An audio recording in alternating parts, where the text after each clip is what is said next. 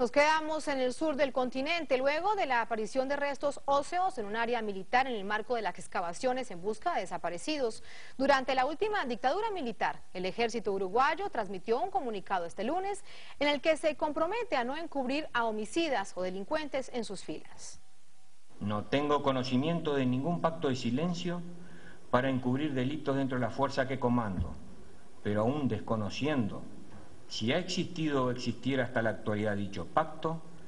desde este momento doy la orden de su revocación inmediata. Invito y solicito apoyo dentro y fuera de la fuerza